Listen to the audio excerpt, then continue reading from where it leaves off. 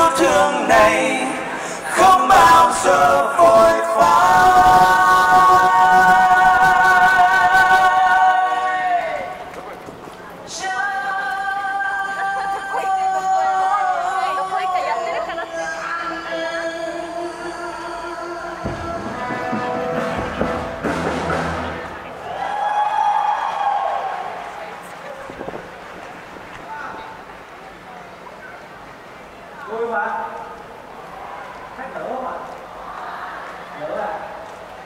không